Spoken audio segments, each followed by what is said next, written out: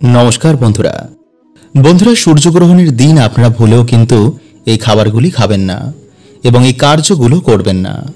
কারণ বন্ধুরা সূর্যগ্রহণ সতেরো বছরে সব থেকে বেশি প্রভাব ফেলবে। যেহেতু সূর্যগ্রহণ কালী পুজোর ঘোর অমাবস্যার মধ্যে হবে, তাই বুঝতেই পারছেন যে বন্ধুরা, এই সূর্যগ্রহণ কি বেশি প্রভাব ফেলবে। তাই অবশ্যই বন্ধুরা, আমাদের কিছু সেদিন নিয়ম পালন করা উচিত। তাই বন্ধুরা, এবছর দু হাজার বাইশ সালে গ্রহণ শুরু হচ্ছে পঁচিশে অক্টোবর দুপুর দুটো বেজে উনতিরিশ মিনিট থেকে এবং গ্রহণ সর্বশক্তিশালী হবে বিকেল চারটে তিরিশ মিনিট থেকে সন্ধে ছটা বত্রিশ মিনিট পর্যন্ত। সুতরাং বন্ধুরা, এই চার ঘণ্টা তিন মিনিটেই ঘটবে কিছু মানুষের জীবনে ঘোর পরিবর্তন। এবং বন্ধুরা, আমাদের ভারতবর্ষ এবং বাংলাদেশে এই গ্রহণ দেখা যাবে বিকেল চারটে বেজে উনতিরিশ মিনিট থেকে, সন্ধে পাঁচটা বেজে তিরিশ মিনিট পর্যন্ত। এছাড়া বন্ধুরা, এই গ্রহণের আগের কিছু সময়কে বলা হয় সূতক। এই সময় কোনো রকমের কিন্তু আপনারা কোনো শুভ কার্য করবেন না। তাই পঁচিশে অক্টোবর মঙ্গলবার দিন, ভোর তিনটে বেজে সতেরো মিনিট থেকে শুরু হচ্ছে এই সূতককাল এই সময় বন্ধুরা, আপনারা কি করবেন এবং কি করবেন না, কোন জিনিসগুলো আপনারা এই সময় খাবেন না চলুন আমরা জেনে নিই। তার আগে বন্ধুরা, ভিডিওটি একটি লাইক করে বন্ধুদের সাথে কিন্তু অবশ্যই শেয়ার করবেন। কারণ বন্ধুরা, এই তথ্যটি সকলের জানা অত্যন্তই জরুরি। নাম্বার এক, বন্ধুরা সূর্যগ্রহণ চলাকালীন গর্ভবতী মহিলারা বাড়ি থেকে বেরোবেন না। গ্রহণের সময় আপনারা ঘুমাবেন না।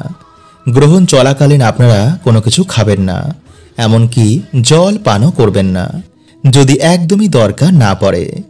কিন্তু যদি খেতেই হয় বন্ধুরা, তো খাবারে বা জলে কিছুটা তুলসী পাতা এই গ্রহণ হওয়ার আগে দিয়ে রাখবেন।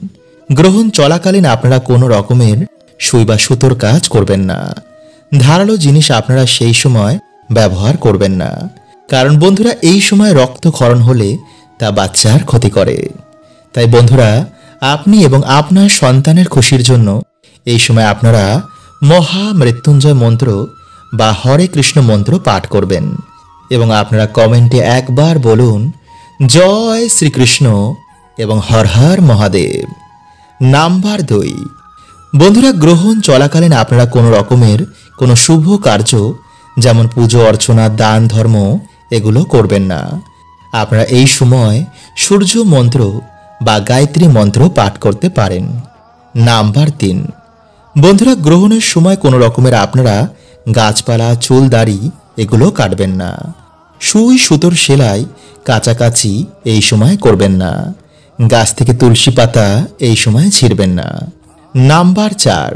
বন্ধুরা, এই সময় কোনো রকমের আপনারা শারীরিক মিলন করবেন না এবং গ্রহণ হয়ে যাওয়ার পর আপনারা নিজের ঘরটি ভালো করে মুছবেন এবং সন্ধেবেলায় আপনারা গ্রহণ শেষে আপনাদের যে মেইন দরজা রয়েছে, যেখান থেকে আপনারা ঘরে প্রবেশ করেন, সেখানে একটি মাটির প্রদীপ ধরাবেন। এতে বন্ধুরা আপনাদের বাড়িতে কোনো গ্রহণের খারাপ প্রভাব পড়বে না।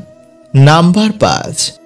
বন্ধুরা, গ্রহণের দিন আপনারা আমিষ এবং কোনো রকমের মদ্যপান করবেন না। মানে তামসিক ভোজন সেই দিন আপনারা খাবেন না। বিশেষ করে এই গ্রহণের সময়। তাই বন্ধুরা, এরকম আরও তথ্য পেতে আমাদের চ্যানেলটি সাবস্ক্রাইব করে পাশের বিল আইকনটিকে অল করে রাখুন। হরে কৃষ্ণা, ওম নমঃ শিবায়।